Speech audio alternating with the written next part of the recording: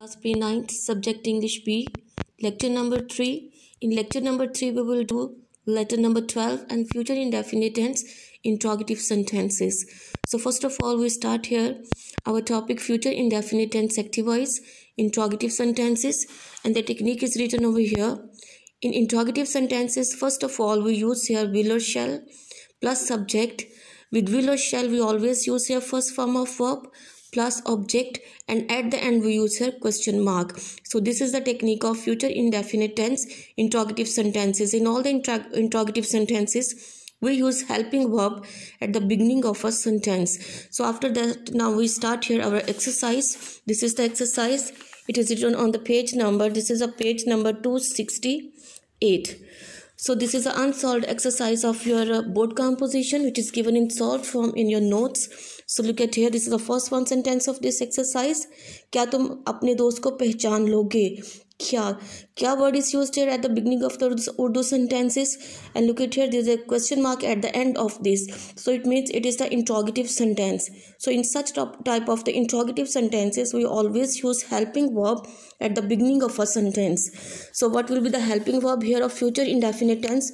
will this is the helping verb will you recognize pehchan loge pehchana this is the action word here so this is the uh, first form of verb which we use with will or shall will you recognize अपने दोस्त को this is the object here will you recognize, recognize your friend look at here will here is a helping verb you here is used as a subject and recognizes the action word this is the first form of the verb and plus your friend this is the object and at the end we use here mark so number two sentence is वो अपनी बंदूक देने वो हमें अपनी बंदूक देने से क्यों इनकार करेंगे वो हमें Q. Q here is the questioning word. So if there are the words just like a Q, why, who, when, where, what, these are all called the questioning words. And will and shall are called the helping verb.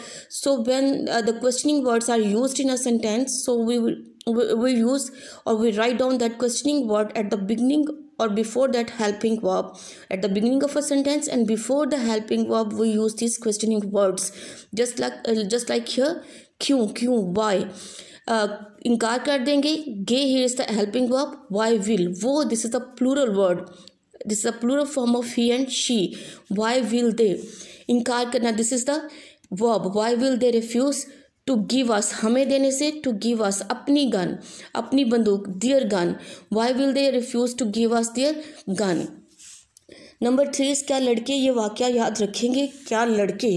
Will boys याद रखेंगे remember this वाक्य this incident will boys remember this incident next is वज़ीर इस्तीफ़ा नहीं देगा, वज़ीर।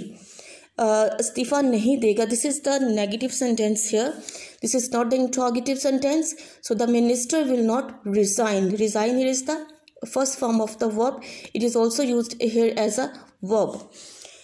And police छापा क्यों मारेगी क्यों मारेगी why why will the police raid छापा मारना रेड नेक्स्ट इज़ क्या ये गुंगा बातें करेगा सुनेगा क्या ये गुंगा विल दिस डम सुनेगा हेयर ये बातें the talk will this dumb hear the talk next is दरवाज़ा कौन खटखटाएगा दरवाज़ा कौन खटखटाएगा कौन कौन here is the questioning word so we use this questioning word before the helping verb कौन खटखटाएगा? Who will खटखटाना mean this is the verb knock who will knock at the door at preposition is always use with knock who will knock at the door next is तुम football को ठोकर क्यों लगाओगे? क्यों लगाओगे? Why will you ठोकर लगाना kick why will you kick the football next is लड़कियाँ स्वेटर बुनेंगी।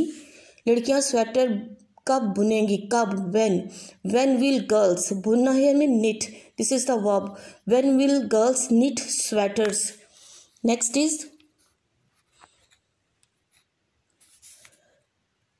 शिकारी हिरन का शिकार क्या वो पुलिस को चोरी की इतला देंगे? क्या वो पुलिस को?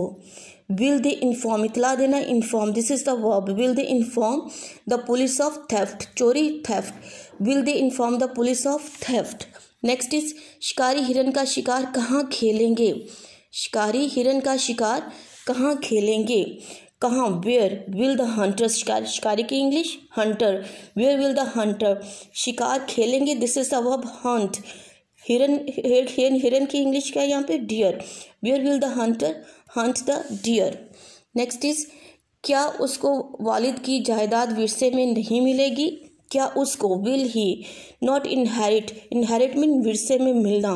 विल ही नॉट इनहेरिट जायदाद property will he not inherit the property वालिद की of his father will he not inherit the property of his this uh, total uh, the next sentence number 13 is given over here. This is here. तुम rickshaw किराए पर क्यों नहीं लोगे? क्यों नहीं? वाई विल यू नॉट किराए पे लेना hire why will you not hire a rickshaw next is लोग ईद की नमाज़ कहाँ पढ़ेंगे? कहाँ पढ़ेंगे? Where this is the questioning word where will people पढ़ेंगे? से ईद की नमाज़ their Eid fair where will people say their Eid fair Pakistan कौन सी अशिया दरामद करेगा? कौन सी? वॉट गुड्स अशिया good goods what goods will pakistan bramad karna import? What goods will pakistan import? So these are the total 15 sentences. So 8 class you have to learn and write down that sentences on your neat notebooks. Now we uh, i'm going to start to read that letter number 12 for you. This is the letter number 12 that write a letter to your friend condoling the death of his mother condoling mean ताज़ियत करना कि अपने दोस्त को ख़त लिखें जिसमें ताज़ियत करें आप अपने दोस्त की वालदा की वफ़ात पर so first i'm going to read this body of the letter the beginning you will start of the letter like this now examination hall city abc and december 3 uh, 2020 after that you have to mention here a dear friend and then start the body of the letter. I have just received the news of your mother's death. Received mean वसूल की कि मैंने अभी अभी वसूल किया है ख़बर ऑफ़ योर मदर्स डेथ आपकी वालदा की वफात की आई एम रियली शॉक कि मुझे वाकई बहुत शौक बिन सदमा हुआ है सुन के हियर दिस ये सुन के she was a noble lady noble lady बहुत ही नेक खातून थी noble mean neck I had special attachment to her मेरी उसके साथ उनके साथ ख़ास किस्म की अटैचमेंट थी शी लव्ड मी वो मुझसे प्यार करती थी ऐसा ऑन सन ऑन सन अपने बेटे की तरह। But the loss of nature लेकिन कुदरत के जो लॉस कानून, लेकिन कुदरत के जो कवानीन होते हैं दे आर द एब्सल्यूट वो मुकम्मल होते हैं मतलब अटल होते हैं चेंज नहीं हो सकते। So we have to before before them we have to bow bow here mean झुकना। We have to bow before them इसलिए हमें उनके सामने झुकना पड़ता है, अल्लाह के कानून के सामने, कुदरत के कवानीन के सामने। All my sympathy sympathies are with you sympathy से मीन हमदर्दियाँ। मेरी सारी हमदर्दियाँ आपके साथ हैं एंड आई होप और मैं उम्मीद करती हूँ that you will bear this loss कि आप इस नुकसान को बर्दाश्त करेंगे। बियरिंग हेयर मीन बर्दाश्त करना। विद पेशेंस सब्र के साथ। एंड करेज और हिम्मत के साथ इसको बर्दाश्त करेंगे।